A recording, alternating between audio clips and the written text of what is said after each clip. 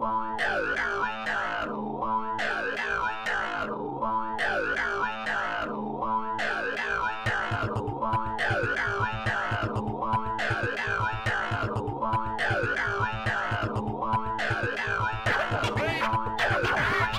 Wait!